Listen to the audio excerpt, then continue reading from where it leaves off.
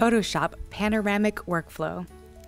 Download your images onto the computer using Bridge. Open the program of Photoshop.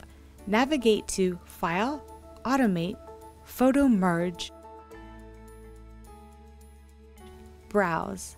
Navigate to the folder where your panoramic images are on the computer. Select all of the photos on your computer that you want to join in the panorama. Command click to highlight the files in blue. Click Open. Wait until you see all of the files in the Photomerge window. The layout should be automatic and blend images together is checked. Click OK.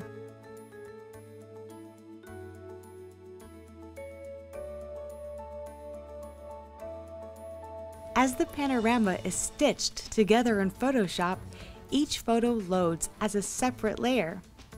Navigate to Edit, Auto Blend Layers. The blend mode is panorama and seamless tones and colors is checked. Click OK.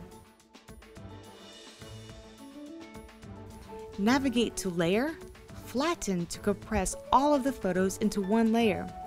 File, Save As. Save your image as a TIFF.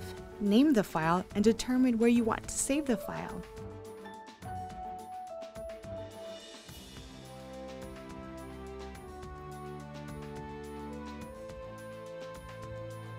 Crop your image leaving some of the white area surrounding your photo.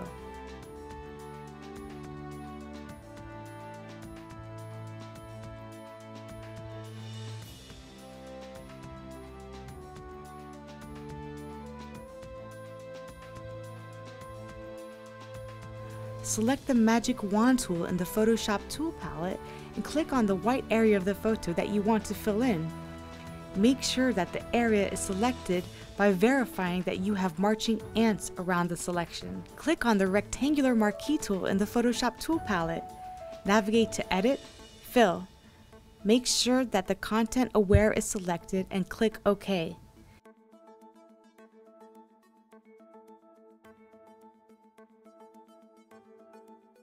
Repeat for the other areas of white on the edges of your panorama.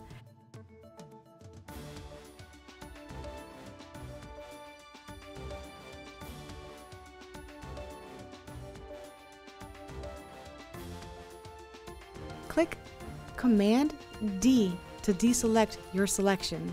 Navigate to File, Save. Verify that your file is saved in the location selected.